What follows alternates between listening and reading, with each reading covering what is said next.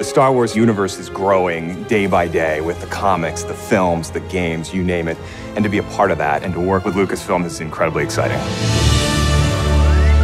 So what we're really trying to do at EA is cater to different areas of the Star Wars universe and create different game experiences that are tailor-made for those fans. With Star Wars Battlefront, we wanted to really be able to bring people into the world of Star Wars like never before. What excites me now is bringing in more characters, more planets, more environments, more eras. And that's why we're super happy to have both Motive Studios and Criterion contributing in significant ways. There's no point in making something in the Star Wars IP if you're just going to do what's been done before, right? So it's a fantastic opportunity for Motive to really tell the world what we're about. And we're going to bring that to Battlefront, which is, it's crazy. It's incredible. As a studio, our promise to gamers is ultimately gameplay first. We all demand that the game has these huge wow moments that translates really well into the Star Wars universe. We're going to deliver that Star Wars awe like fans have never seen before.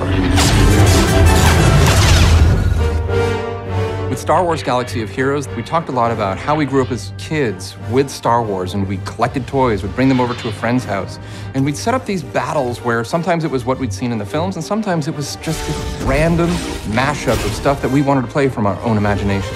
Our aim is to bring in characters from all the films, all the TV shows, and even beyond.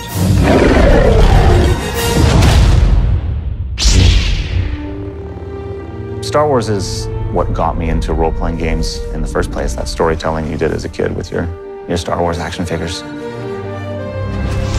With Star Wars The Old Republic, the choices you make, the freedom you have, that's really at the heart of a Bioware game.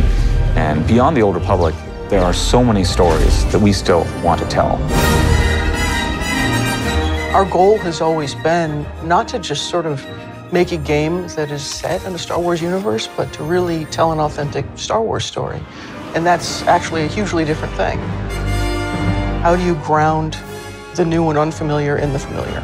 You need the guidance of someone like Doug Chiang to show you the way.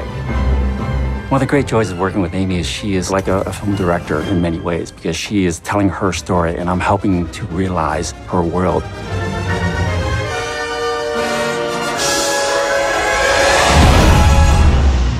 EA has some really exciting plans in the works for the Star Wars portfolio, and what we're doing is bringing in talent from across the industry and letting them loose. We have completely different games on the horizon, and I just hope that every fan walks away going, wow, I never thought they were going to bring my Star Wars fantasy to life.